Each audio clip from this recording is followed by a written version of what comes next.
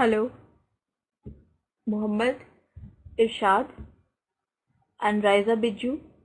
Am I audible?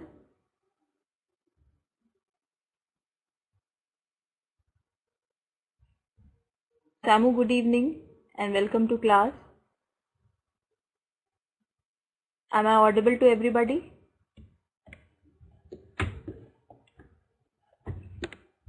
Good evening. So, how are you all?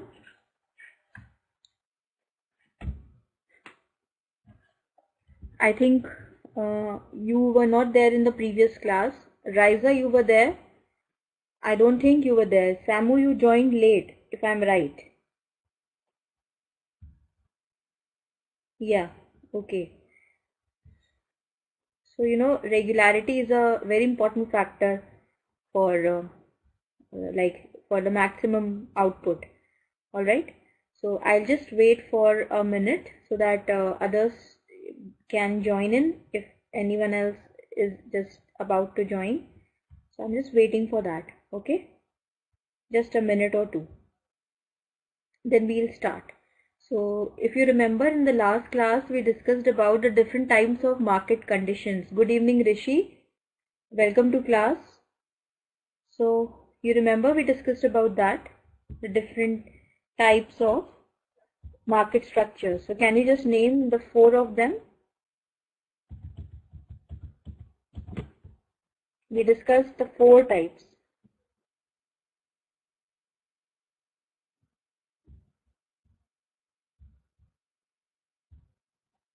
You can just type your answer there in the time the uh, in the meantime the different types of market structures which the uh, the topic which we discussed in the last class so we discussed about the different types of market structures so basically there are uh, two main subdivisions of market structures one is perfect competition and the other is imperfect competition so can you just tell me what is perfect competition? Those who were there in the last class. What is perfect competition? Please type your answer.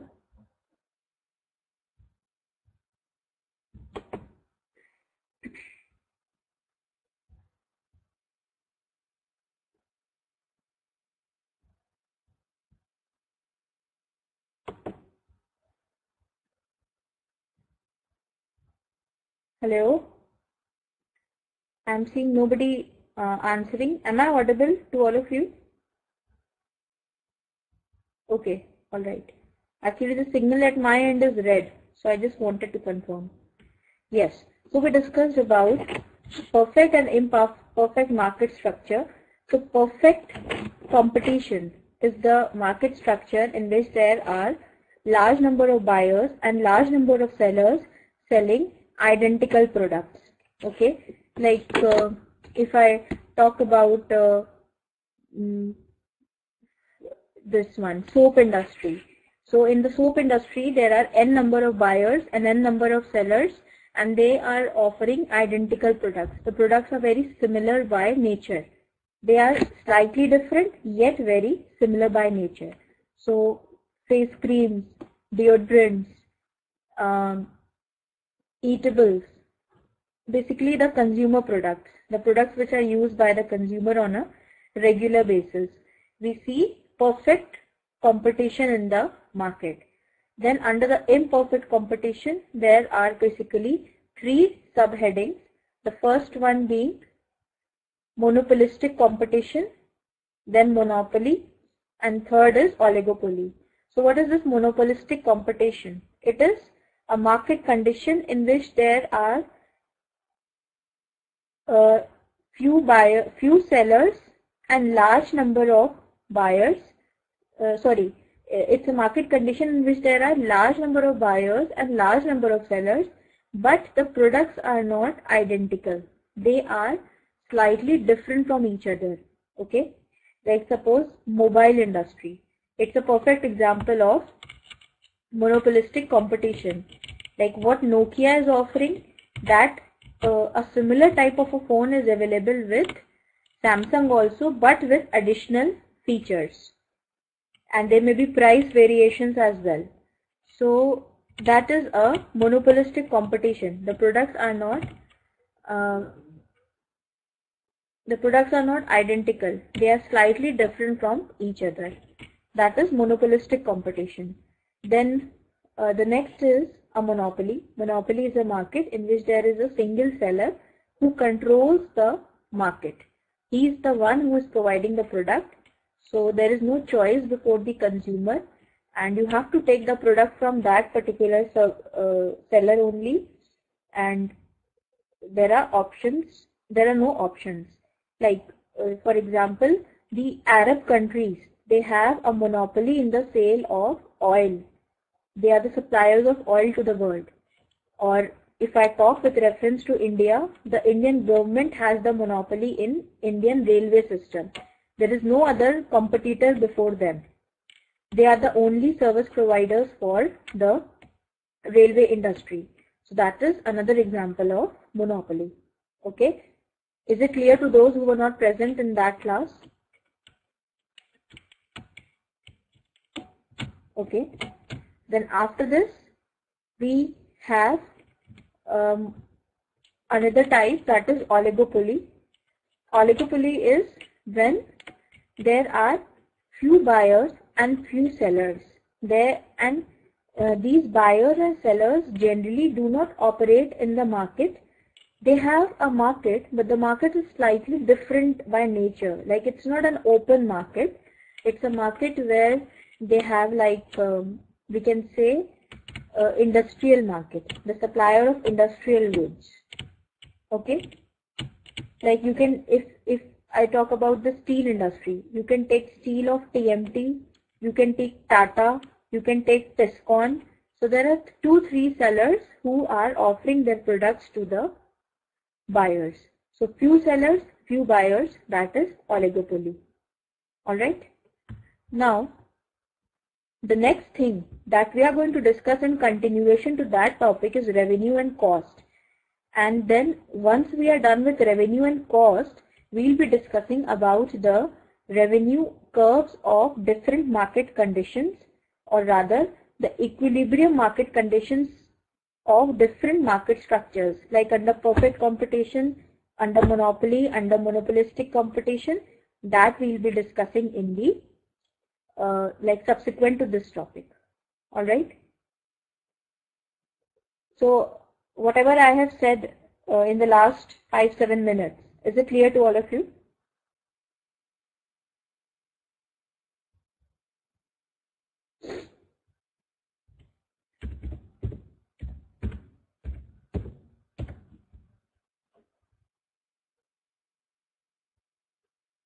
Okay, Samu says clear. What about others?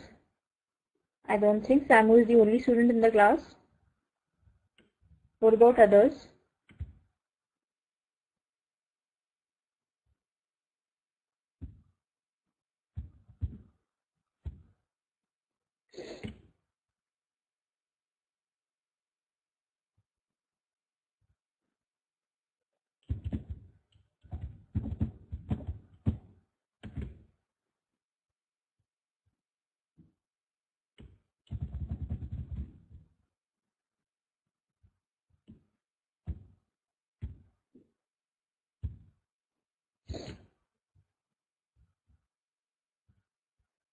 Hello.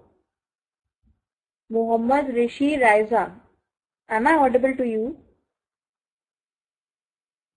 Samu says yes, but what about others? I'm getting no response from the other students. Rishi, where are you? Are you lost somewhere? Rishi, are you there? Muhammad Irshad, Abdul Halim, are you there? There's no response from you. Please be attentive. Okay, so now we'll be starting the topic for today. You understand the meaning of the term revenue? What is revenue? What does this word revenue mean? Simple term. What does that mean? Everybody, please answer. Finance. Okay. Any other one? Uh, any other answer? Revenue is basically the sale proceeds or rather the earnings of a company, uh, earnings of a business. That is revenue. Okay. And cost mean the cost of production. Okay. How much are we uh, incurring in the production of a particular product or in the carrying of a particular business. That is the cost. So now we are going to discuss about these two important concepts. So what are the different terms that we need to know in this one? One is the equilibrium price, short run, long run, then revenue, then cost, then economies and diseconomies. So out of this we have discussed economies and diseconomies. We have discussed short run and long run. And equilibrium price is not what we are going to discuss today. And today we will be discussing about revenue and cost. So these are the subdivisions. We can see the revenue is divided into total revenue, average revenue and marginal revenue. And cost is divided into total cost, average cost and marginal cost okay so now we can have a look at them. What is the equilibrium price? It is the price at which the quantity demanded is equal to the quantity supplied. Then what is demand? Quantity which a person is ready to purchase and having need on that particular price in that particular time period. Okay? Demand is like we are ready to uh, we have the desire to purchase a particular thing and we also have the ability to purchase it. That is demand. Just having 10,000 rupees in my pocket and planning to buy a iPhone. That is not a demand. That is just a desire. I have 50,000 rupees in my pocket and then I plan to buy a iPhone. Then I would say it's a demand. Okay. You understand the difference between the two, demand and desire?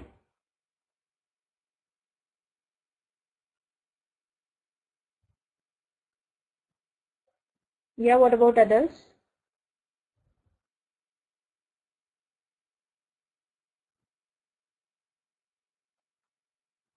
Okay. So that's demand. The next is supply. So supply is quantity of goods which a person is ready and willing to sell at a given price and at a given time period. Okay, means the uh, goods which are available in the market. That is the supply. And these are all time bound things. Okay. Hello, Rishi. Is that fine? Uh, Riza and Samu, uh, am I properly audible to you?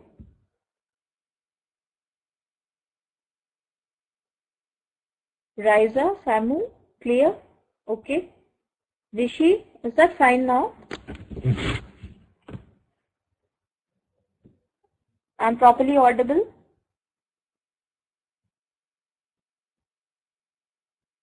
Just a second.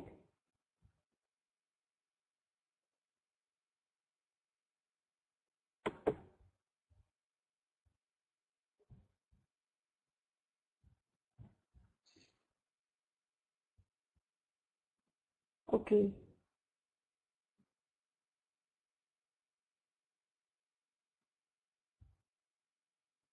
Hello?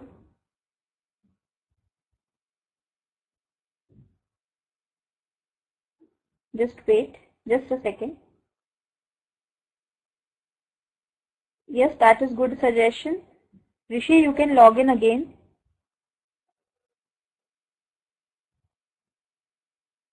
Okay. So now what is cost? Shakil, good evening and welcome to class. So cost is the amount of money that is spent to produce goods. And revenue is the amount of mon uh, money earned after selling the production. So Shakil, today we are discussing about cost and revenue. Okay. Revenue and cost are two important concepts which we need to know for determining the equilibrium level of the firm. So what is the equilibrium price? So it means the price at which the quantity demanded and quantity supplied are equal to each other. That is the equilibrium price. So you can see is the demand curve and SS is the supply curve. And it is cutting each other at point E. So this point E is the point of equilibrium. So this OP is the equilibrium price for the firm. Okay. Raiza, Samu, Muhammad, Shakil, is it clear?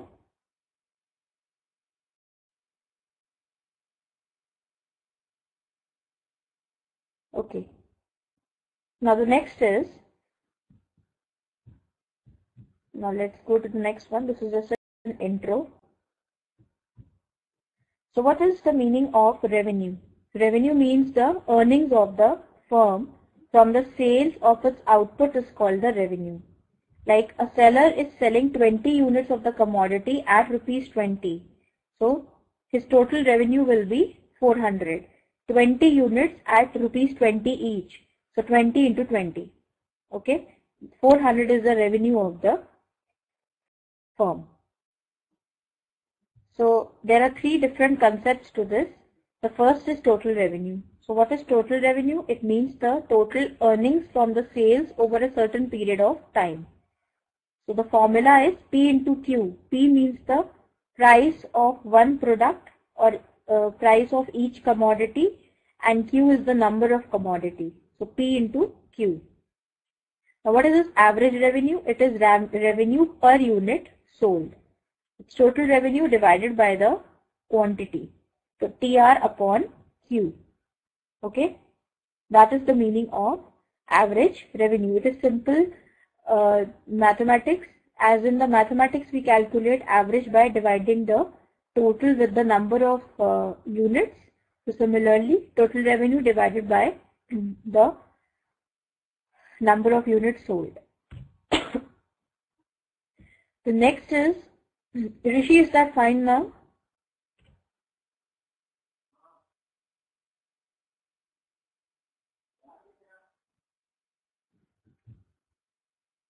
No.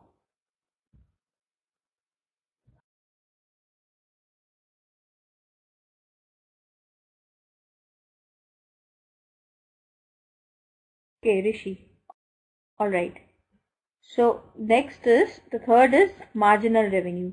So marginal revenue means, marginal means change in total due to one extra unit. So marginal revenue means the change in revenue when output changes by one unit. Okay. So it is total revenue of n plus 1 units minus the total revenue of n units. Alright, that is marginal revenue. So there are three concepts to the revenue. Now let us see a table which shows the relationship between the output and the revenues.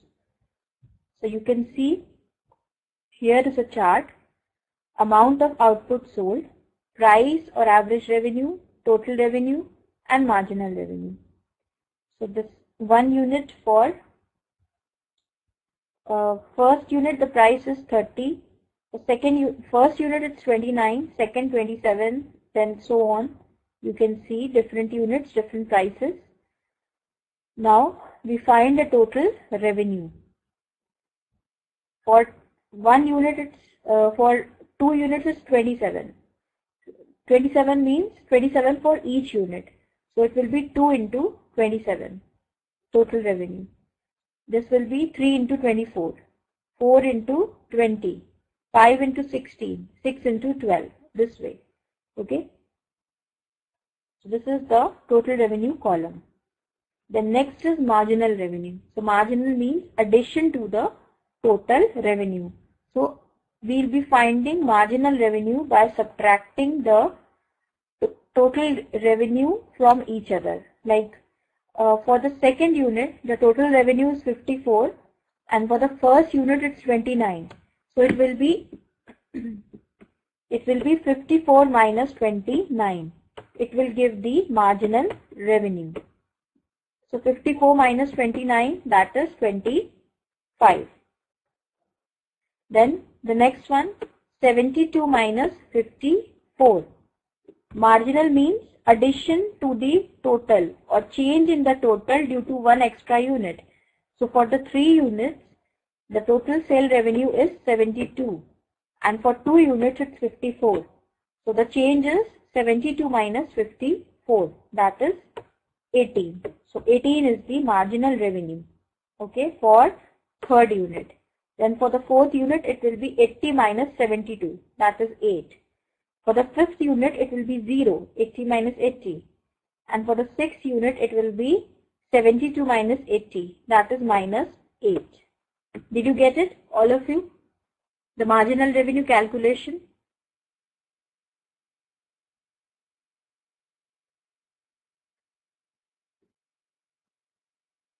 Shakil? Okay. So now, what next? Next is the, uh, like this is just the simple calculation which it is showing. Now what is the relationship between the average revenue and per unit price? Average revenue is equal to total revenue divided by the number of units. And how do we calculate this total revenue? This total revenue is price of one unit into total quantity sold. So mathematically P into Q upon Q. Now if we cancel Q and Q, like this is an equation like this, P into, just a second, I'll change the color of my pen so it becomes darker. You can see. So it is P into Q upon Q this Q and Q will cancel each other mathematically. So we can say average revenue is equal to P, that is the price. Alright. So average revenue means the price of each unit. Is it clear, this calculation, everybody? Any doubts? And this P into Q is the breakup of total revenue. Total revenue is price into quantity sold.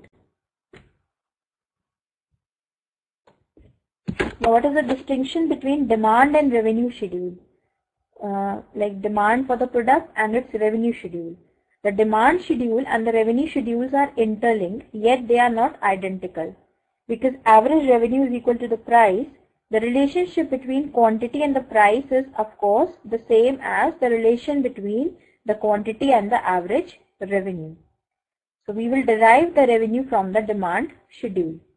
Okay we'll derive the revenue curve from the demand schedule itself. This is the relationship between them. Now you can see we are given the demand curve DD for the product of a firm. This DD is the demand curve.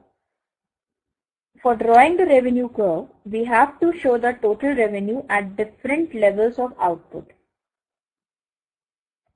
So at OB, OB means this quantity revenue is equal to O H into sorry O A into OB. Now what is this?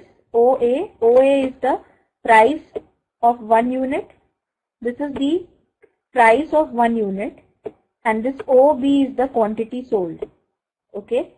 So OA into OB is the revenue for the E units. Okay, is it clear? Just a second.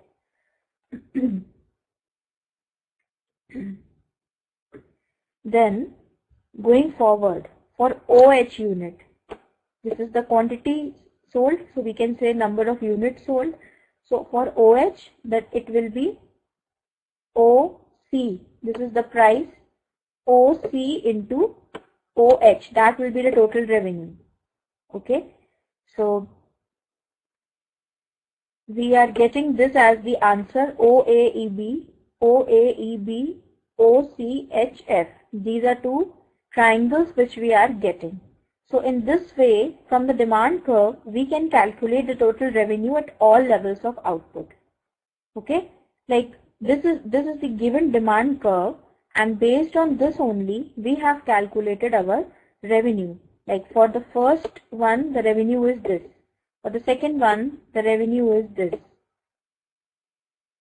Or rather I can say for the first unit the revenue is this. And for the second one the revenue is this this uh, this block the down one.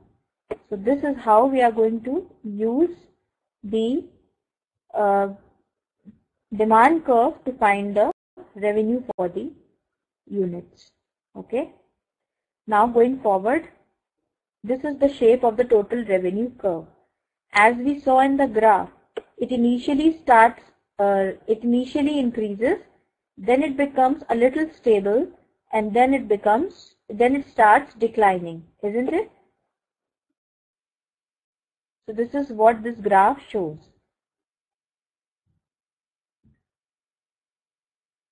One minute. I'll take you to that graph, the previous uh, chart. Yeah, you can see the total revenue. It is going from 0 to 29, then 54, 72, it's increasing. Then at uh, for the fourth and the fifth unit, it became a little stable. It became 80 and then it starts declining. So this is what that graph is also showing.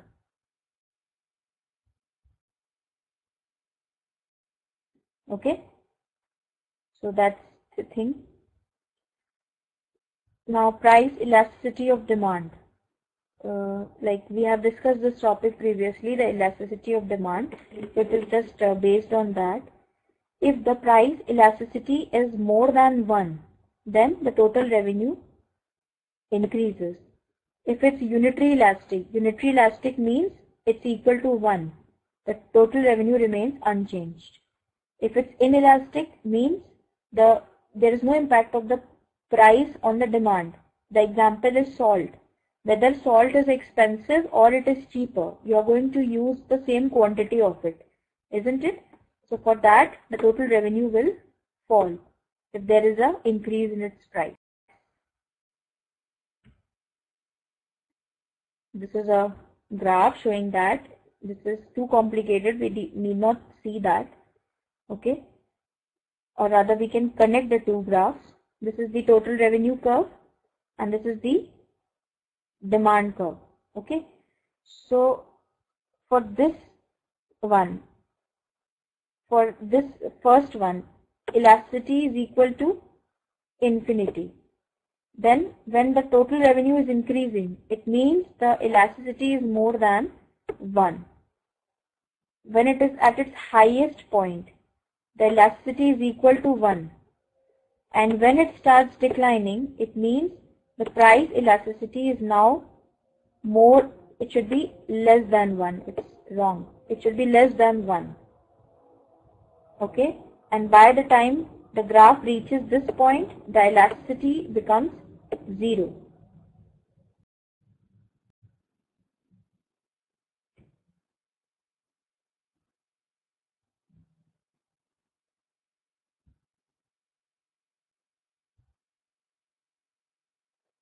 All right.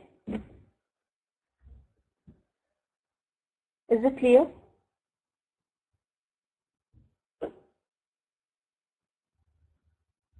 Hello? Can you hear me? Is my voice reaching to you all? Okay. I couldn't see that. Okay. Now it's fine. So, the total revenue is this whole thing is divided into two market situations one is when the firm sells its product at a given price and the second is when the firm sells its product more at a reducing price like when the price remains the same or and then when the price goes down so now we can see it is called a perfectly competitive market in this one, the price is determined by the industry. We discussed this discussed this thing that day only when we were discussing about the different types of market conditions. The price is determined by the industry. That means the price is decided on the basis of the demand and supply for the product. The individual firms do not have any say or any role in the price decision. The price is decided on the basis of demand and supply interaction. Okay. So every firm which is a part of that industry will have to accept the price which is decided on that basis. So you can see now the like the price is 5, the total revenue is 5, then for 2 units it's 10, then 3, 15 and that way. Average revenue is the same as the price for the product. Then marginal revenue is also same in this case. So this is the example of a perfectly competitive market. So in the perfectly competitive market, now if we plot this total revenue, we will get a graph like this one. Okay, like this point may be for 5, this may be for 10, this may be 15, this may be 20, then this may be 25. Okay. The average revenue and the marginal revenue both is 5 in all the cases. So this is the line for average revenue and marginal revenue. Okay, and average revenue is equal to marginal revenue. Is it clear? Any doubts?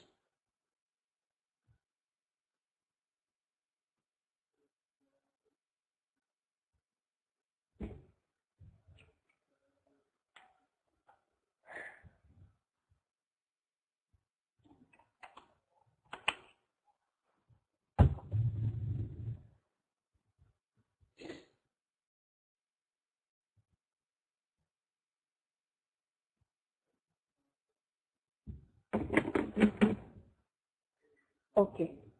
Now, the next part says when the firm sells its product more at a reducing price. Means when the price for the product goes on Rishi okay. I'll tell you. Just uh, we have read now ki, uh, like the marginal revenue is addition to the total revenue. So this is the total revenue column. So for the second unit that marginal revenue will be 10 minus 5. The answer is 5. For the third unit, it will be 15 minus 10. So that is 5. Again. For the fourth unit, it will be 20 minus 15. Again 5. And for the fifth unit, it will be 25 minus 20. Again 5. Okay. So that marginal, the word marginal, that means addition to the total because of one extra unit. Keep it in mind. This is the key to remember the marginal revenue concept. Okay. So we are calculating it for every additional unit. Now, when the firm sells at a reducing price, so let us see that. So initially the price is 10, then it goes to 9, 8, 7 and so on. So for the first one, the total revenue is also 10, average is 10 and then marginal is also 10. Then as we go to the second unit, the price has gone down to 9. So 9 per, per unit into 2 units. So 9 into 2, total revenue is 18. Now what is the average revenue? It will be 18 upon 2, that is 9 and the marginal will be 18 minus 10 that is 8 okay? Then for the third one its total revenue will be 3 into 8 24 and then average and then marginal. Uh, Rishi how will you get the marginal revenue for the third unit? Marginal revenue for the third unit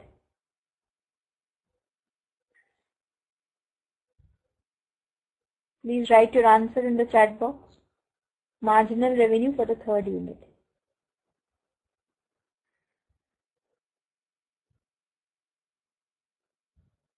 Rishi, can you hear me?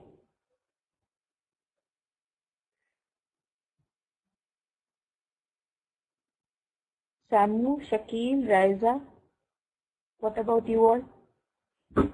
Uh, no, no. I am asking how did you get this 6? That I want to know. Rishi said 28 minus 24. Uh, Rishi, you are right, but you are talking about the fourth unit. Okay, I'm talking about the third unit. For the third unit, it will be 24 minus 18. Alright? Yes. So this is how this whole graph turns out. Like for by the time 6 unit is sold, it becomes 0. And then for 7th it becomes minus 2 and for 8th it becomes even minus 4. It even goes negative, the marginal revenue.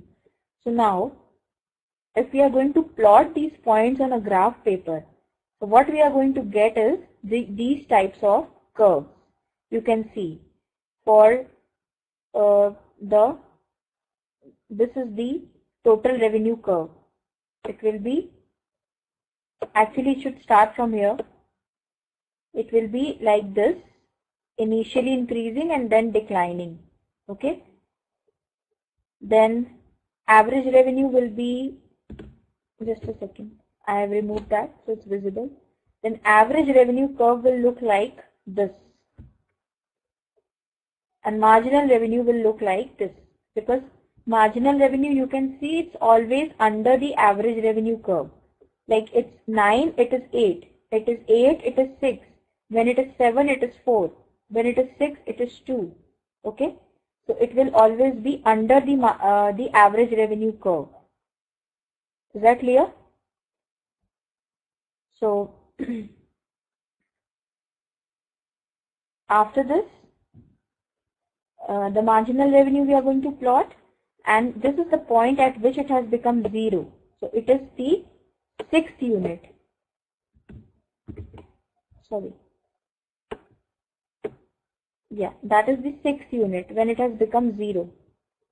And now by the seventh unit it is negative and for the eighth unit it is, it is even more negative. So this is how the curves will look like if the firm sells its product at a reduced price. Means for every additional unit, when the price will go on declining, this is how the curves will look like. Is this concept clear to all of you? The shape of the different curves and their derivation. Everyone?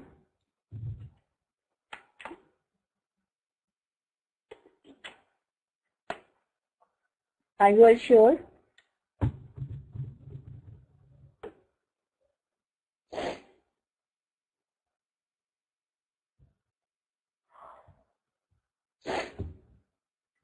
So there are two different conditions. One is when the price remains the same and when the price goes on declining. So they, these are the two revenue conditions under perfect market competition. Okay. Now we go to the next one.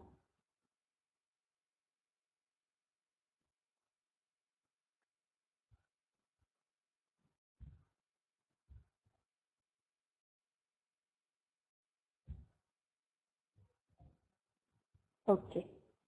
Now let's see the relationship between average revenue, marginal revenue and price elasticity of demand as we saw in the case of that one, the previous one. Actually, we can just skip this because it's all mathematics. You can see if this is all mathematics. This is all geometrical calculation. We can just skip this one. We can just have a look at this that this is how the curves will look like. This is average revenue curve and this is marginal revenue curve. And average revenue is equal to the price of the of the commodity that we have seen. Now, what is this cost? This cost means the cost of production. So the cost means the cost of inputs which we use in the process of production. Basically, there is the cost of labor and capital. For labor, the cost is wages and for capital, it is rent. If you remember, we have discussed about the cost of production in detail in the session related to this when we talked about uh, the diminishing scale, diminishing uh, returns theory. Uh, six, seven classes back, we did that, diminishing returns. Theories of reduction, diminishing returns to scale. You remember that topic?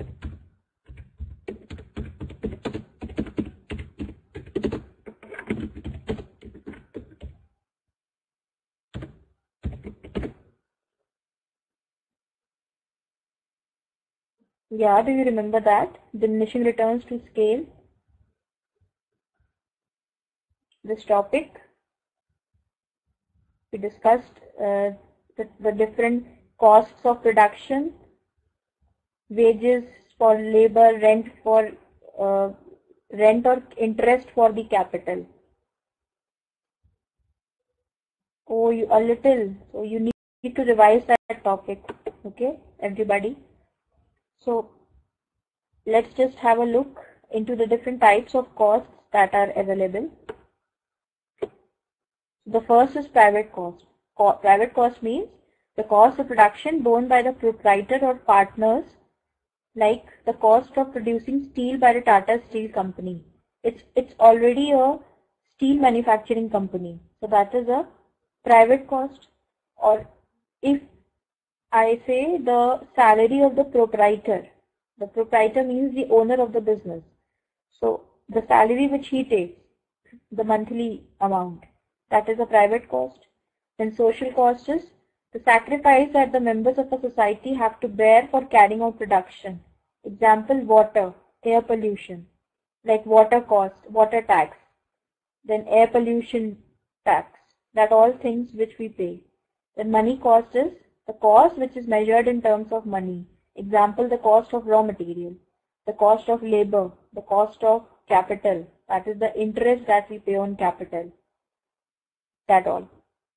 Then real cost means the cost expressed in terms of the volume of inputs required to produce a particular quantity of output. Let's just uh, go in detail.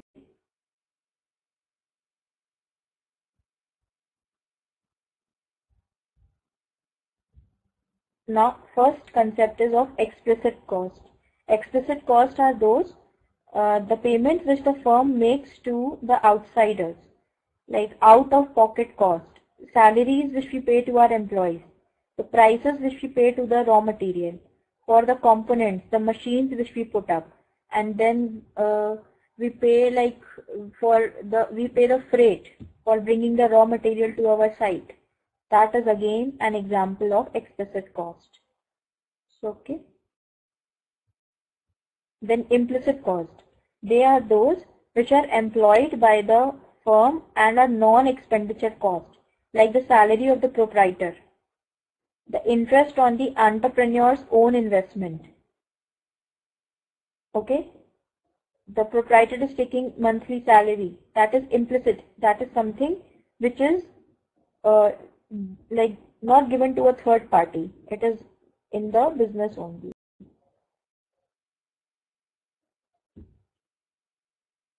Then what are economics, economic costs? It means total of implicit cost and explicit cost plus the profits of the firm. Are you all getting this? Riza, Samu, Shakil, Rishi?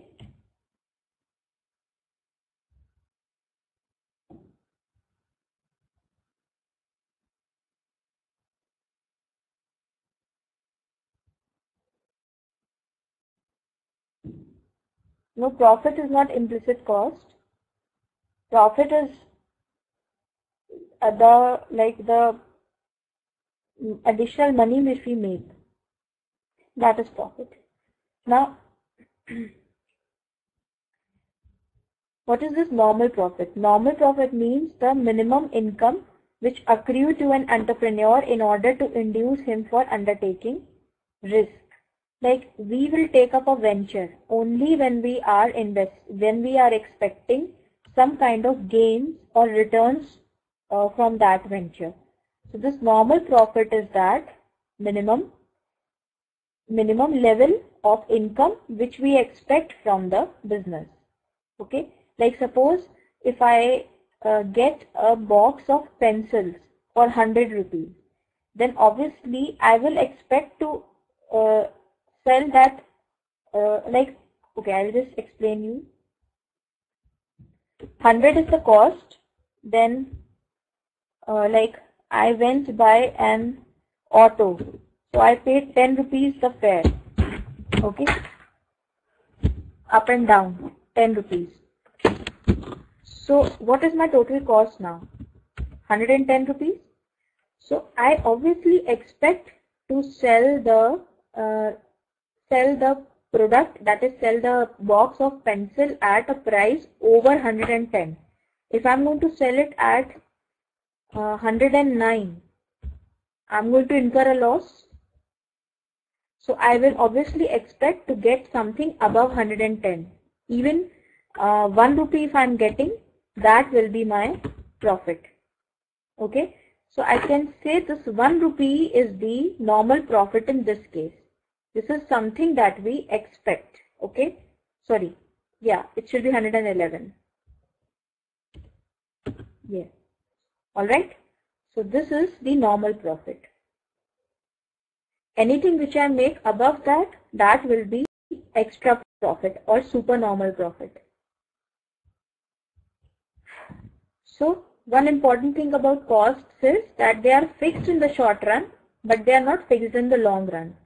So typically in the long run, all the costs are variable, means they can be varied according to the requirement. They can be changed.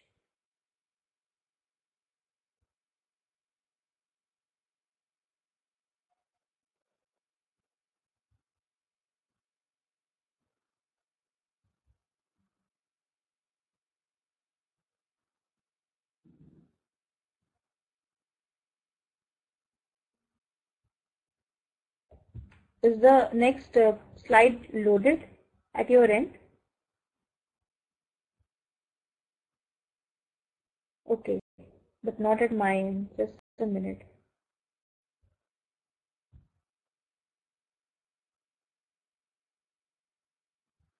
Twenty-ninth slide.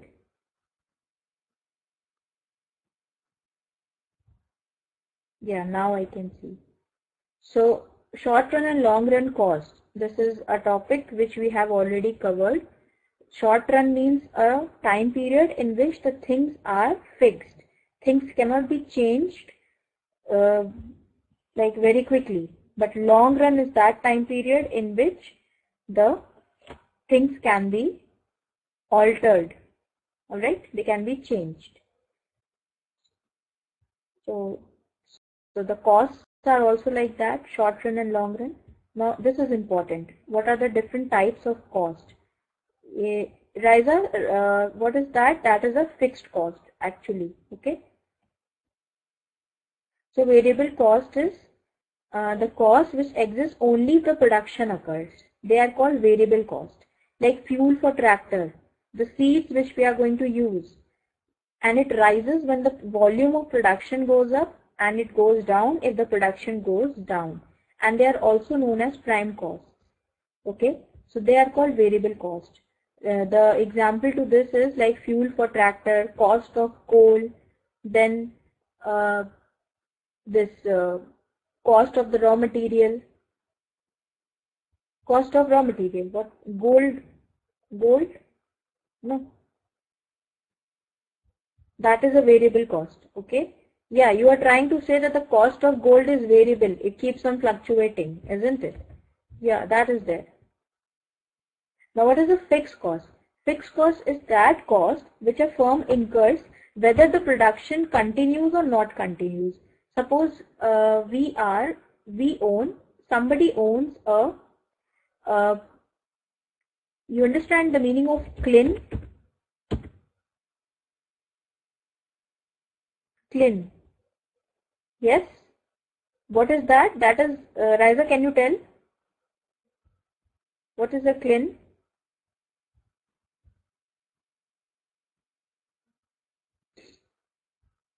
Riza, can you tell to that tell that to the class?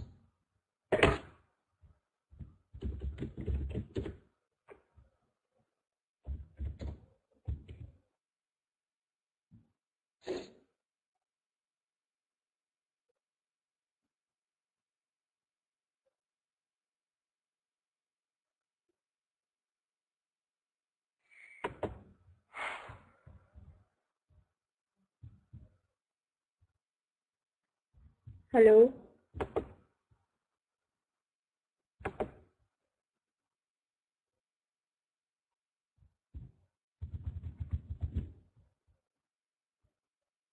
Hello? Okay. So, kiln means a brick kiln. It's a place where the bricks are manufactured. Okay. So suppose if uh, somebody is into the business of uh, brick manufacturing, then uh, if if it's the rainy season, then the production will come to an end. It will stop for that time period. Okay. But if we are like if we have taken a premises on rent, then we will have to pay the rent. We have to pay the uh, call the basic electricity charge, the fixed cost for the electricity. We will have to pay the fixed cost for telephone. Okay. We have to pay the salaries to our uh, employees who are coming to the office in that period only, uh, to our accountant, to our guard. Okay. That all is fixed cost. They will be done, they will be incurred whether we undertake production or not. Suppose now the production is at a halt, it is not uh, being carried on because of the weather, then we will not incur the variable cost. We will not incur the cost for this tractor, seed and uh, we will not incur the cost for the raw material.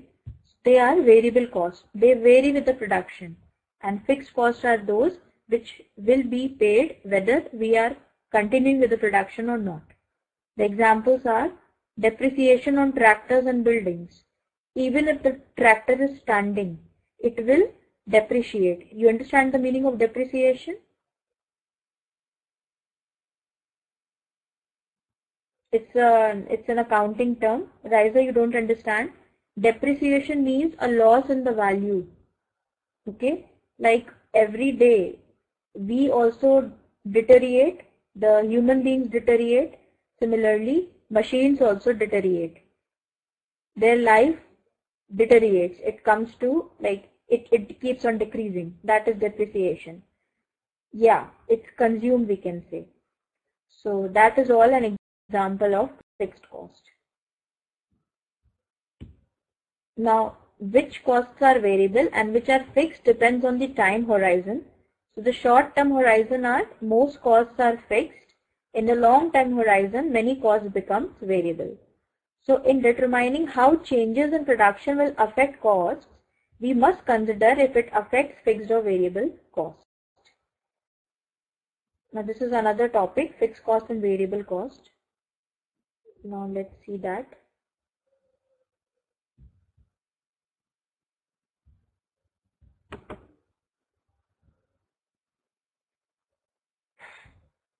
Again, PPT is not uploaded at my end. Is it uploaded at your end? The next one.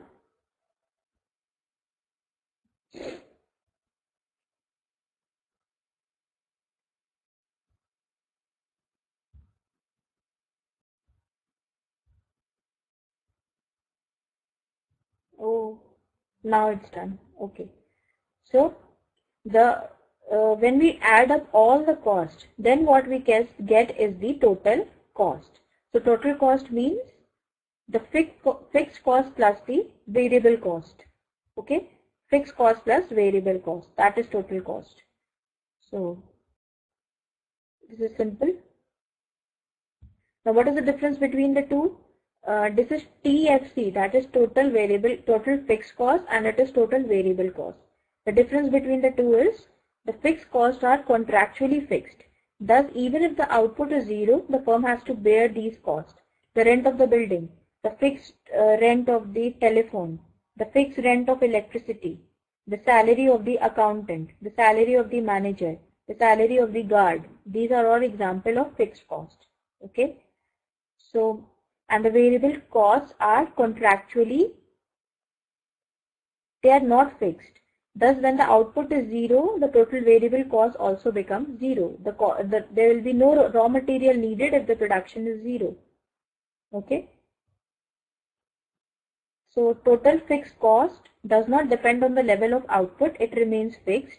Total variable cost depends on the level of output. Total fixed cost does not exist in the long run. Total variable cost exists both during the short and the long run. Total fixed cost becomes horizontal Total variable cost curve takes the shape of an inverted yes, S. Now let us see that. Now this is the cost curves of a firm. You can see this is on the right axis is the costs and on the left axis is the sorry on this one x axis is the output and on the y axis are the cost. So this is the total fixed cost. Whether you manufacture one unit you will incur 50 whether you manufacture two unit, you will have to pay 50. Whether three, you will have to pay the rent. That is that may be 50. And whether you manufacture 13, you will have to pay 50 rupees. Okay. So this is the total fixed cost. It is a straight line. Clear? Everybody?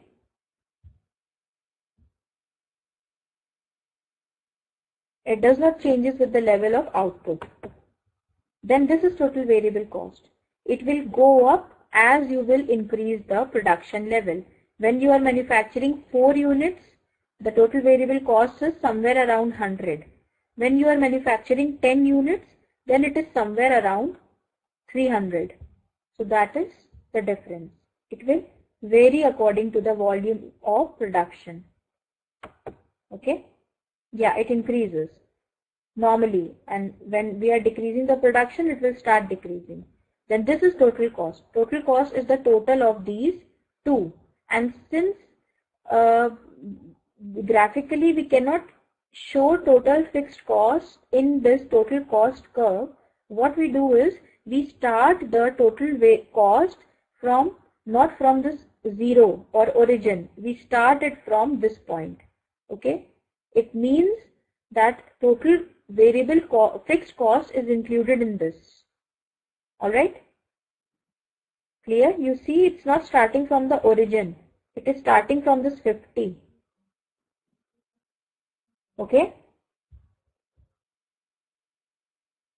Yes, that's correct, Riza.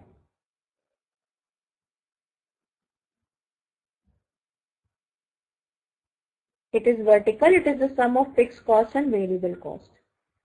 So this brings us uh, to the end of this thing and now we are going to wind up the class also because just uh, uh, less than two minutes left. So I will not start with something new now and I'll continue with the same thing in the next class. Alright. So make sure you are attending it because once we are done with this, we'll be going to the cost curves under different market situations. So don't try and miss it because that all is very graphical. Okay. That is all graph based.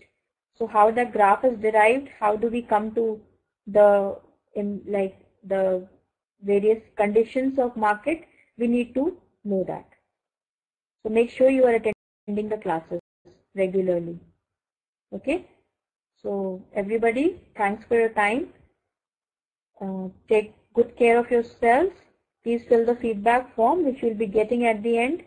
Thanks for your time. Make sure you are in you are attending the class and you are on time. All right. So thanks everybody. Have a great week ahead. Enjoy your work. Enjoy your days and see you in the next class.